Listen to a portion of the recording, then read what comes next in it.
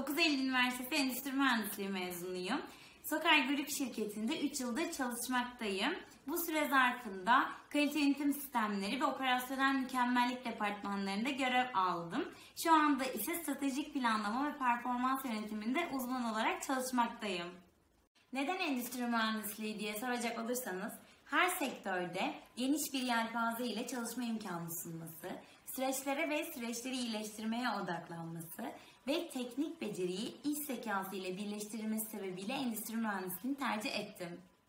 Stratejik planlama ve performans yönetimi uzmanlığındaki görev tanımımda şirketin vizyonu, misyonu, kurumsal değerleri ve stratejik önceliklerine uygun uzun, orta ve kısa vadedeki stratejilerin belirlenmesi, performans yönetimi ve dünyadaki benzer e, kuruluşlarla şirketimizi kıyaslayabileceğimiz benchmarking çalışmalarının gerçekleştirilmesi yer almaktadır.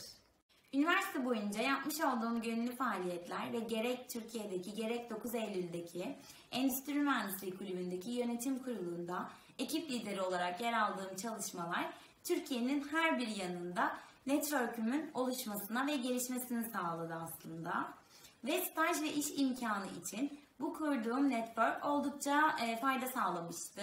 Her üniversitedeki endüstri mühendisliği yaklaşımlarını öğrenmek ve birlikte çalışarak da çalışma hayatına başlamadan önce bu tarz çeşitlilikleri nasıl e, yöneteceğimi keşfetmemi sağladı. Ayrıca gerçekleştirdiğim lider rollerde de liderlik özelliğimin pekişmesini sağladı diyebilirim. Endüstri mühendisinde olması gereken yetkinliklere ve yatkınlıklara gelecek olursak kesinlikle hızlı öğrenme, olay bazlı değil süreç bazlı yani geniş bakma, sürekli değişime ve gelişime açık olma ve iletişimde güçlü olunması bence önemli kriterlerdendir. Endüstri mühendisi olarak birçok sertifikaya sahibim. Fakat bu e, sertifikasyonların önemi işin veya gitmek istediğiniz yönün kapsamına göre değişmektedir.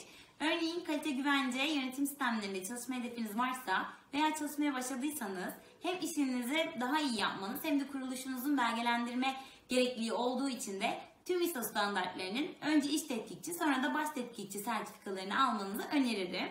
Ee, ben sokak kariyerime bu alanda başladım aslında ve entegre yönetim sisteminin tüm gereklilikleriyle ilgili de sertifikalara bu yüzden sahibim diyebilirim. Özetle başlangıç noktanız ilk önce yaptığınız stajlardan da yararlanıp gitmek istediğiniz alanı belirlemek ve o alanın herhangi bir sertifikasyona ihtiyacı var mı diye de araştırmaktır. Ana yatırım alanları petrokimya ürünleri ve ticareti, rafinaj ile doğal gaz ticareti ve dağıtımı olan Sokar Türkiye, yatırımlarının büyük bölümünün yer aldığı Aliağa'daki arazileri için Türkiye'de özel endüstri bölgesi ünvanını ilk alan şirkettir aslında.